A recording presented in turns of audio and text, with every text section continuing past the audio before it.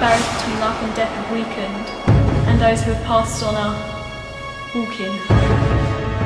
And I have urgent news concerning the doctor. It is my deepest regret to tell you that the doctor is dead.